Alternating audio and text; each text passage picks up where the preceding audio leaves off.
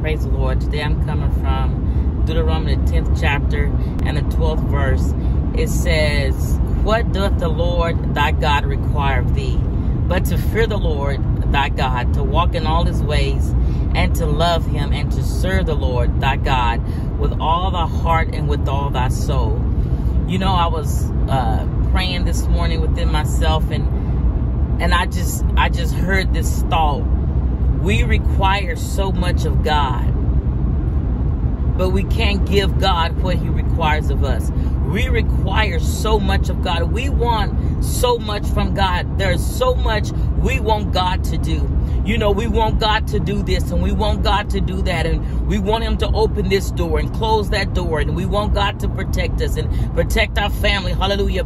We want God to supply our needs. We want God, hallelujah, my God, my God, hallelujah, to make ways for us out of no ways. We have so many requirements of God but we can't do what God requires of us. It says here, and now Israel, what doth the Lord thy God require of thee? But to fear the Lord thy God. Amen. He wants us to fear him. Amen. Just like you require things of God, God required things of you as well. Amen. And to walk in all his ways and to love him and to serve the Lord with all our heart and with all our soul.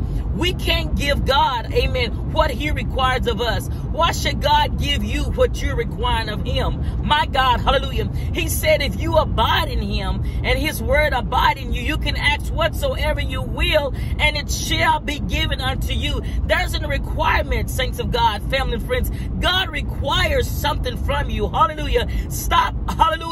Glory be to God, requiring so much of God and you're not giving nothing back to him. Some of us don't even give God back the praise that's due him. Like he said, I healed 10, amen, and only nine came back. I mean, only one came back, amen, to give me thanks. What happened to the other nine? My God, what happened to the other nine? Glory be to God. Come on, let's do, hallelujah, what God is asking us to do. Let's serve the Lord wholeheartedly, whole mind, hallelujah, body and soul, glory be to God, hallelujah. Let's stop trying to have a shack up relationship with God, just shacking, hallelujah. Make a commitment to God, make a commitment, hallelujah, to serve Him him. Make a commitment to do what he's requiring you to do. Hallelujah. My Lord, my God. And to know what God is requiring of you, you have to get in the face of God. You have to seek the Lord. You have to study your word. You have to see what the scriptures is saying. Hallelujah. Let the Holy Ghost lead and guide you into all truths. But the, the thing is, and the main point that I want to bring across today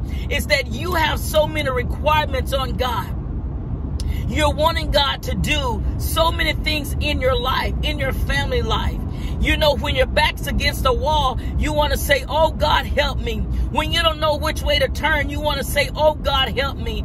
But why are you not giving him what he requires? My God, what he's telling you to do. Hallelujah. All he's telling you to do is just surrender your all in all to God. Hallelujah. If you surrender your all in all to God, he says, delight yourself in me and I'll give you the desires of your heart. He says, hallelujah, trust in him and he shall also bring it to pass. God will automatically do, amen, that that you're requiring of him. Hallelujah. Glory be to God. If you're doing, hallelujah, what he requires of you, my God, God will do what you're requiring of him if you would do what he's requiring of you. Hallelujah.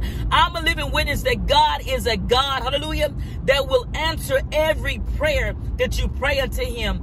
I'm a living witness that God will, hallelujah, come through, hallelujah, for you time and time again. But God is saying there's something he requires of you. My God, hallelujah. I love you and may heaven forever smile upon you is my prayer.